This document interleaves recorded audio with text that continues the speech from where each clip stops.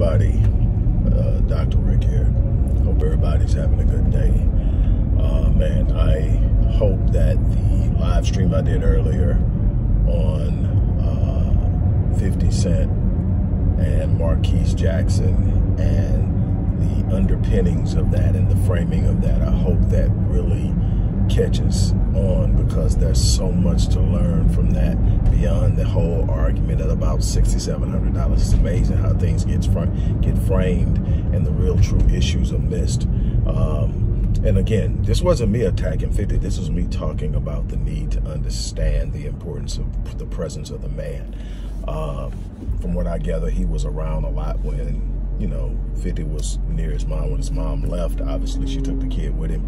Uh, when you have those type of resources, you got to make things happen some kind of way. And I'm not going to judge it because I don't know the underpinnings, but I do understand what goes on when that happens from a perspective of a child, not just because of the thousands of hours of research over what now 30 years uh, in human behavior um, and 25 books under my belt but because I was that kid. So I understand that. Uh, and again, uh, this goes beyond just throwing everything on the lap of the man, but I believe if men are going to be leaders, uh, then we have to be willing to hold the, the heavy. And that's not always fun. It, it, it, it's not always glorious. Uh, and a lot of times we carry the brunt of things we didn't necessarily create. That's what being a leader is about. That's what being the head is about. That's what being a king and operating in your dominion is about. It's about owning all of the stuff that's going on within your dominion and making sure you find a way to fix what's broken. Now, on to what I want to talk about here. Um, first and foremost, well, not first and foremost, we just talked about something, but next, uh, show some love and support for the work we do. Um, go to the description box, click the link, show some love, give, donate.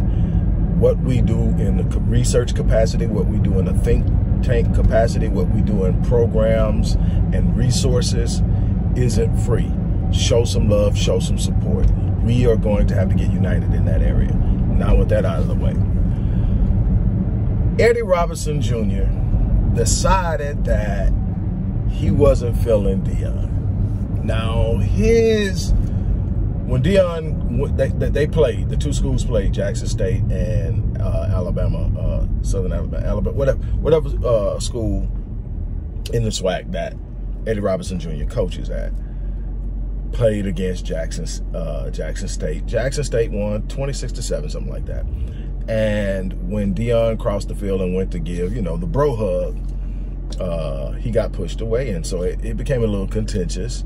And the dude said that he ain't, you know, Deion ain't SWAC. Now, there's a lot of stuff that goes with what he meant or idea, but he said Deion ain't SWAC, so he wasn't feeling that. And then when pressed more about it, he pointed to the fact that at the end of the game, they ran a hitch and go play, which is a play uh, that's like, you know, you're trying to score a touchdown. And so he, he was upset that they were trying to score. The score was 26 to 7. The game was already uh, in the bag. Why was he trying to score? So he felt that was the reason that he didn't like Deion. He didn't feel him. He felt he was trying to run up the score.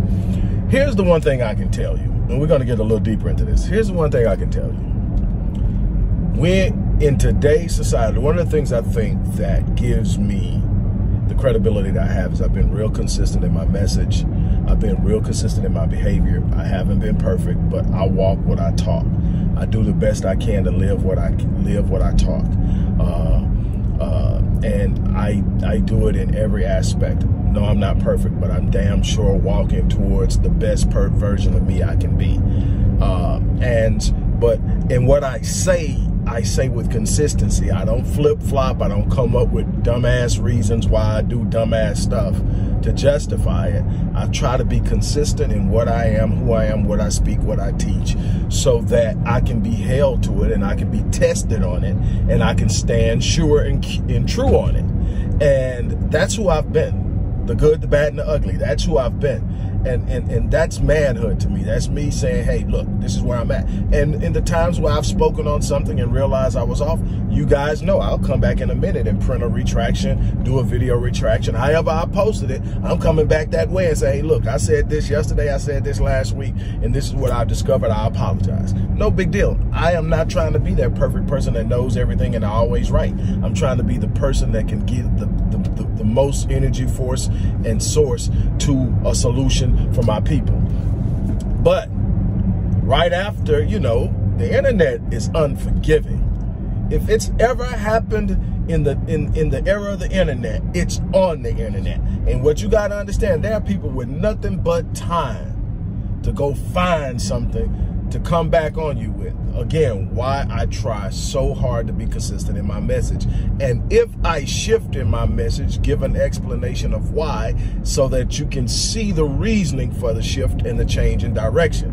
But when you sit up and you talk about uh, the reason you ain't feeling Deion is because he tried to run up the score, it was 26 to 7. And there's a picture of you not only hugging the, the white coach, for UCLA who beat you 45 to 7. But you hugging him and got him and give him the back rub.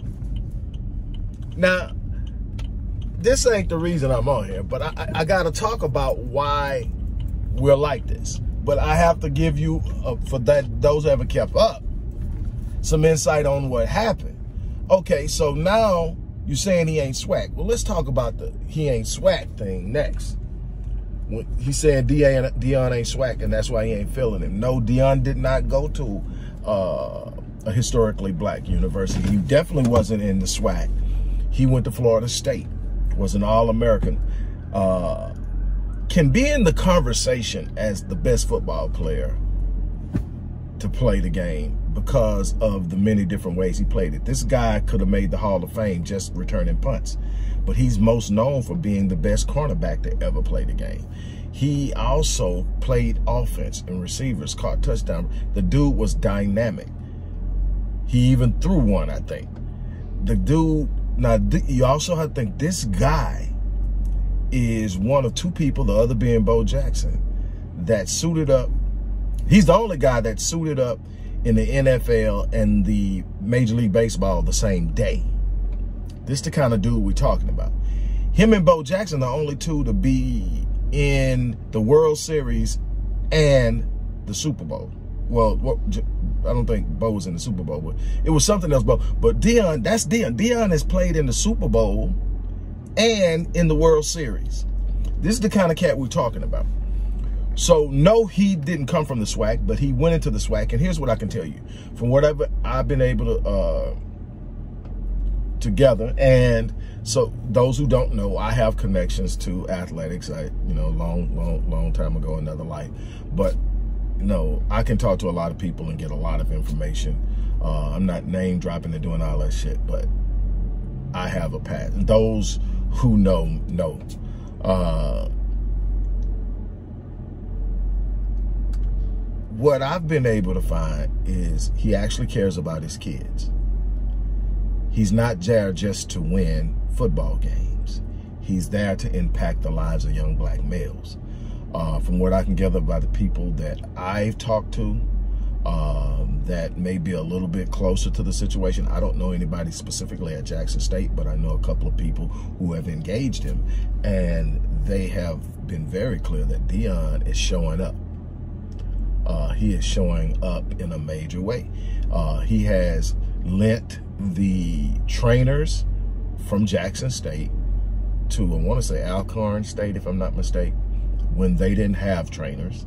He has lent his facilities to another SWAC school when something went wrong at their school. He's been consistently showing brotherhood towards the men in the SWAC who are coaches who are trying to impact black boys. He has held his young boys to a standard. He has changed the dress code. He has demanded much of them. And so the idea that he's not SWAC, how are you defining it? You know, that he didn't play SWAC. And here, here's the thing, and I'm, I'm very careful about this because the name Eddie Robinson is powerful now. Uh, the junior is another thing. I mean, can you imagine the pressure of being the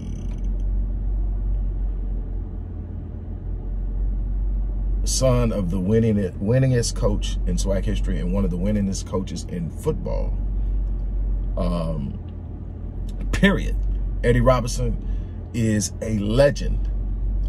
And Eddie Robinson Jr. is coming off of that and has roads paved for him. And that's the way it should be. Your legacy should write paths for your children. Your children should have roads paved for them because of what you've done. I have no problem with Eddie Robinson Jr. having a space in SWAC because his dad defined and gave it a name. I have no problem with that. Here's the problem that I see and if I'm wrong, I, I, stand corrected and I have no problem apologizing. But I'm looking at the behavior, and it's a common behavior among black men that I don't like. We're way too competitive with each other when what we need to be doing is standing with one another.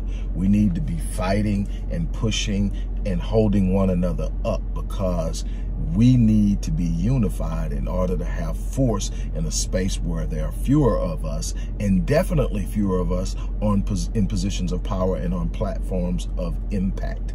And that is so important. I see it in in, in the realm of uh, uh, of the black community operate where we're talking activism and and and and, and scholarship and and all of these there's these little side shots everybody's taking at everybody. And I, and if you notice i stay away from it there are some things I know. There are some things that people have done to me personally that nobody except my closest friends know. And I told, hey, don't tell nobody, man. I'm just sharing you this. This is what happened.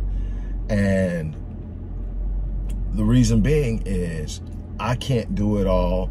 Not everybody's going to like me. I don't have an expertise in every area and to sit up and go attack somebody because I got a personal thing with them in an open spectrum where there's going to create schisms. And those schisms are the divisions of the followers of the people that are now involved going at each other. So now you've got this, this not just two people, but cliques. You, uh, pro probably the biggest thing that we can think of in our lifetime was East Coast, West Coast beef because of Pac and Big. That's what can happen when you get division within people who have a commonality but decide to use something divisive amongst them to create this division and then create this energy that pushes towards one another and everything is destructive. Everything is destructive, whether it's physical violence like we saw with the East Coast, West Coast thing, whether it's financial disruption and meaning that we are already in a ever widening uh, economic gap and wealth gap with whites, that that gets exacerbated because we won't work together, because we won't pray. But more importantly, you're talking about black men who have the ability to impact the lives of young black males, all of which will not make professional football. So they will be doing something else in this world, and you have an, an opportunity to impact them, and you're getting inside of your own feelings about something. And what my take on it is, is Deion is carrying more clout in SWAC right now in, in, in, in college football, but definitely in SWAC right now, than the name Eddie Robinson. And that is bothering Eddie Robinson Jr., that everybody's talking about Deion. And what Eddie has to understand is he is carrying the name of a legend. Deion is a legend.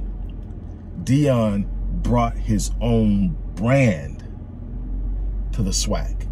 He was prime, prime time, prime time Deion Sanders before he ever got there. Now, what he's done since he's been there is nothing short of amazing. And I'm not talking about what he's done on the field. That's that's exceptional. I'm talking about the culture that he's created. I'm talking about he's not grandstanding nobody. He's showing love and he's being there and he's he's connecting with whoever wants to connect with him. This is one of the best players to ever be on the field. And he's showing absolute love to uh, people who are doing the same thing he's doing without the fanfare. That is immensely valuable in the grand scope of things. Get, get beside, there are people out there right now that got way more exposure than me, that know a fraction of what I know. And I will big up them every time and every chance I get because they have the reach and I don't. I can get mad and say, man, why are you watching this? Why are you clicking that? Why are you over there? That that that bull crap they're doing. For what? I'm gonna be me. And what I'm gonna do is work on being a better version of me.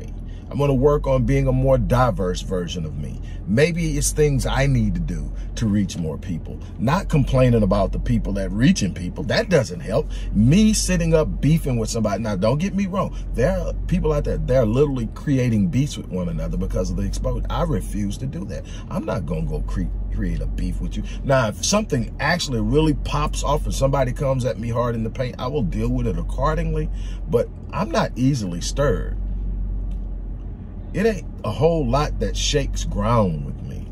I've been in the game too long. I've been through too many things. I'm not easily most let's like like like, like that saying goes, elephants don't swat flies. You gotta be coming real heavy and I gotta really feel you to make me wanna come at you. Little bull crap shots that people take and, and little stuff like that you know, if you do it on my page, I'm gonna come get at you real quick, but nothing major. But sitting up starting uh, beefs on, on these social media things that we don't own so that we can get some kind of clout or credibility. And what we're doing is dividing our people. What we should do is come together. But here's the problem though, and this is another thing that adds to this whole thing with Eddie Robinson Jr.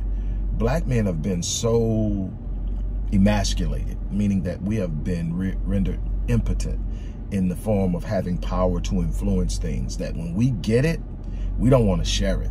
You look at, you go to the average black church, you're going to find, and if it's been around long enough and it's not in the, in the process of a new cycle, you're going to find a 75, 80 year old pastor who's been in his seat for 35, 40 years and nobody is the heir apparent. Why? Because that's the only power he's ever experienced and he's going to ride it till he die. He hasn't trained anybody to pass the baton.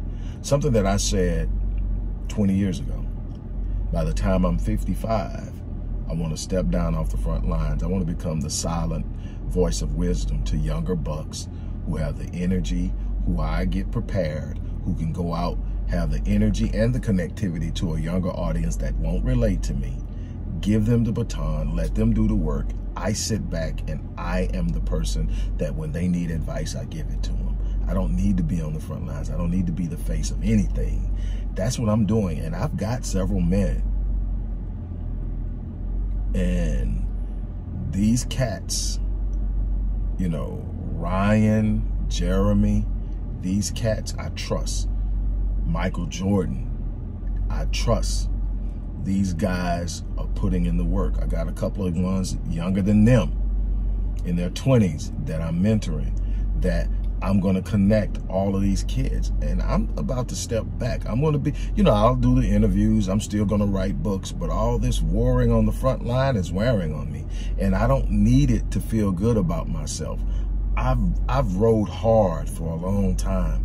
I've done some things in my life that I'm exceptionally proud of. And I can sit now and work my ass off from a different position. I don't have to kill myself on the front line. I don't need anybody's validation. And see, that's the problem. We're so busy trying to hold on to something and grab something. We can't give it to the ones who can take it. I'll say this and I'm done. I've said this for years that the only way we're ever really truly going to experience power is we're going to need men who are willing to plant seeds that they may not live long enough to see come to fruition. We want we got too many instantaneous glorification cats right now. I need somebody to call my name and say what I did. I need a star. I need somebody, you know, we've got all of that. Nobody wants to sit up and say, man, I'm going to plant a seed. It may take 50 years for that seed to grow, but my grandkids are experiencing it. we don't think that far ahead, man. When I think about my grandkids, I get emotional. I love them. I love my great grandkids. They're not even here. Why? Because I was trained to be concerned about what I produce.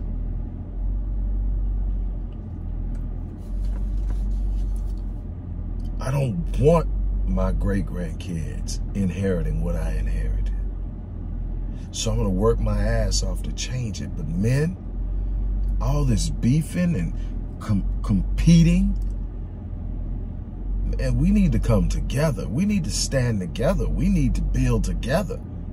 Everybody worried about how they can position themselves and to bump the other person off and get get a piece of their market. Are you freaking killing me?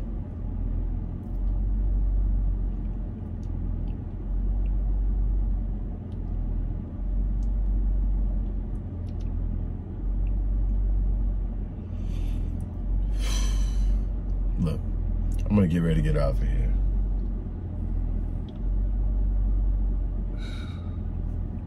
We've got to do better. On that note, I'm gonna ask you again, show some love, show some support for the work we're doing. I'm gonna get off here and get inside. You guys have an unbelievable day.